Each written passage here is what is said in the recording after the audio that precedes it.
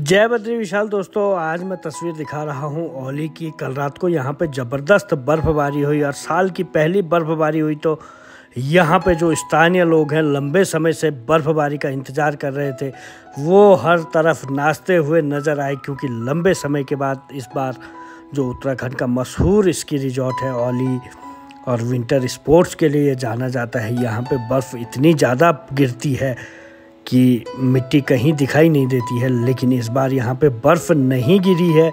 और कल यहाँ पे पहली बर्फबारी, जो साल की बर्फबारी हुई तो हर कोई नाचता गाता झूमता हुआ दिखाई दिया, क्योंकि हर कोई उत्साहित था, क्योंकि पहली बर्फबारी हो गई थी।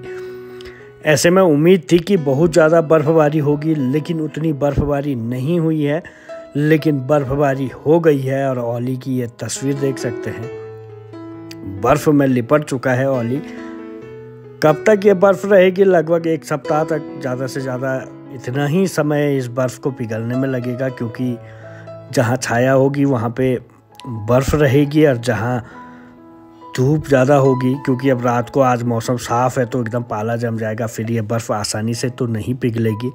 लेकिन बर्फ़ बहुत कम है, क्योंकि ओली जब बर्फ़ गिरती है, ओली की जो अपनी तस्वीर है, जो ओली की सुंदरता दिखती है, वो तीन से चार फीट बर्फ़ की आगोश में जब ओली दिखता है, तब यहाँ पे मज़ा आता है।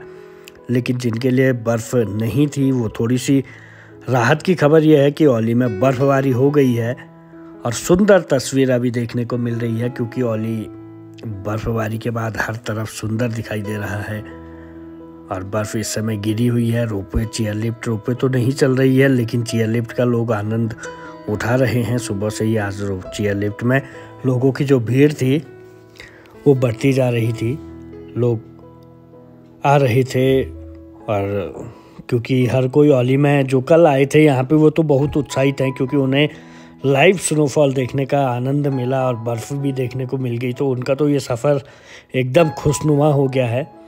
फ़िलहाल अभी जो ऊपरी जगह है, वहाँ पे भी ज़्यादा बर्फ़ तो नहीं है, लेकिन कुछ समय के लिए यहाँ पे ये लगा लो कि एक हफ़्ते तक बर्फ़बारी देखने को मिलेगी।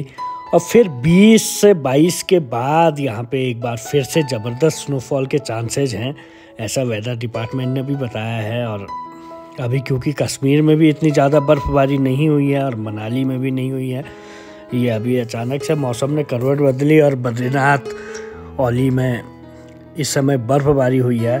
अगर किसी को कम बर्फ़बारी देखनी है तो वो ओली आ सकते हैं। ये फ़िलहाल अभी एक हफ़्ते तक यहाँ पे देखने को आप लोगों को मिलेगी, क्योंकि बर्फ़ जो पैचेज में है पैचेज में मिलेगा आप क्योंकि आज थोड़ी सी पिघल चुकी है। और जो बाकी रहेगी, वो पाला बन जाएगी तो वो रहेगी, वो देखने में रहेगी। फ़ोटो खींचने के लिए बहुत अच्छी है। अगर आपको बहुत ज़्यादा बर्फ़ देखनी है तो फिर आप 20-22 के बाद ओली आ सकते हैं। 20-22 जनवरी के बाद, क्योंकि उसके बाद चांसेज हैं कि बहुत ज़्यादा बर्फ़बारी यहाँ पे आपको देखने को मिल सकती है। और ओली में हर तरफ़ इस समय बर्फ़बारी के बाद सफ़ेद चादर बिछी हुई है। ये एक से दो इंच की है, क्योंकि ज़्यादा बर्फ़बारी हुई नहीं, जमी नहीं इतनी। बर्फ़बारी तो हुई, लेकिन उतनी बर्फ़ जम नहीं पाई।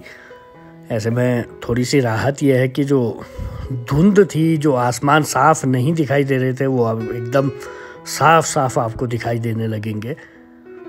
और औलिया सुबह से ही एक बार फिर से, क्योंकि जो लोग तुरंत में चलते हैं, वो तुरंत पहुँच जाते हैं और यहाँ पे बर्फ़बारी का आनंद उठाते हैं। बर्फ़ जो गिरी है, उसका आनंद उठाने लोग औली पहुँच चुके हैं। और अगर आप भी आ रहे हैं तो अगर कम बर्फ़ देखनी है तो आ सकते हैं। ज़्यादा बर्फ़ देखनी है तो बीस बाईस के बाद आप लोग औली आ सकते हैं। दोस्तों, अगर चैनल को सब्सक्राइब नहीं किया है तो ज़रूर कीजिएगा। जय बद्री विशाल, जय बाबा केदार।